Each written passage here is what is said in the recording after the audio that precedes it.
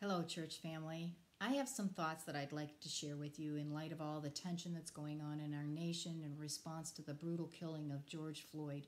I was so grateful for Pastor Dan and Mark's beautiful clarion call to all of us to respond to the systemic racism in our nation by putting on righteousness and peace. The word that has been on my heart this past week comes from John 1:16 where it is written from for from his fullness we all have received grace upon grace. This week I tuned in to George Floyd's funeral and when I did my heart was really heavy. I couldn't imagine the grief that his family was bearing. But what I found was a congregation of mourners who were rejoicing in the promises of God. In preparation for the service, the family had told their pastor, Whatever we do, let us worship.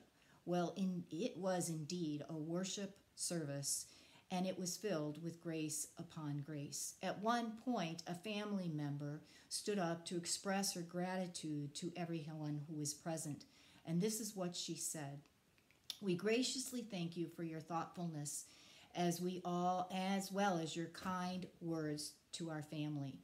It is understandable that these are difficult times for us, but please remember that God's grace is sufficient. God's love is comfort in sadness, peace in weariness, healing in despair. He is always in our presence, and His love embraces us. She says, Remember, because He is our salvation, our shelter in time of storm. We are forever in his care.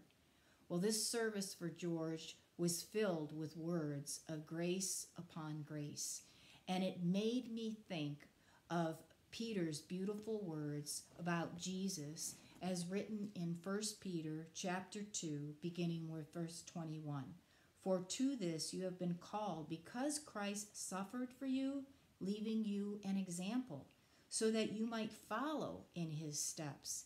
He committed no sin, neither was deceit found in his mouth. When he was reviled, he did not revile in return.